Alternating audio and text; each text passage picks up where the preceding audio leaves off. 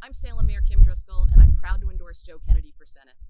We're at a critical time in our nation's history, and now more than ever, we need a strong federal partner we can rely on at the local level.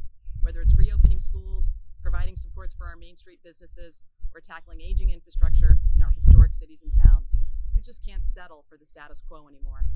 I'm with Joe because, like him, I believe we need to build new systems, ones that are more equitable, and make room for new leaders, both in our party and our capital. You're a mayor, you're on the front lines, whether it's fighting a pandemic or addressing pressing needs in our communities. You do this work because you love where you live. I know that Joe is prepared to do the hard work to make sure that communities like mine have a partner we can count on in Washington. He'll do more for my city and do more for Massachusetts, not just today, but every day. I know he'll be there for us. He'll be a new voice fighting for all of us in the United States Senate. That's why I'm with Joe, and I hope you.